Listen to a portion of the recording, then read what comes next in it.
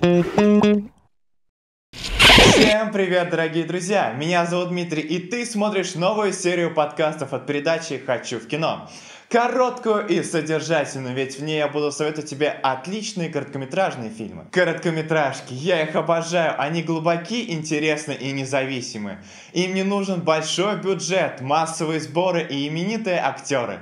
Каждый такой фильм и так найдет своего зрителя. Короткометражка, она как чашечка хорошего кофе. Она густая, вкусная, ее всего лишь капля. И нашу передачу открывает короткометражный фильм «Цирк Бабочка». Это отличная работа от Джошуа Вайгала. В этом фильме снялся потрясающий человек Ник Вучич. А это один из лучших мотивирующих ораторов на свете. Обязательно уделите этому фильму 20 минут своей жизни. В этой драме речь идет о человеке, который поверил в то, что он хуже остальных – мир сломал его.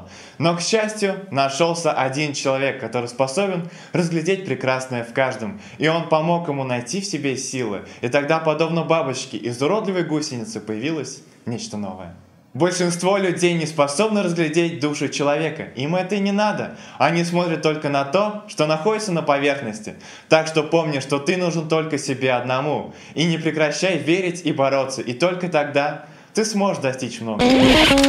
Ну а на этом у меня все. В комментарии на ютубе пиши свои любимые короткометражные фильмы и напиши, почему они тебе так нравятся. Оставь лайк, подпишись на наш канал и рассказывай нас друзьям. Всем спасибо, всем пока.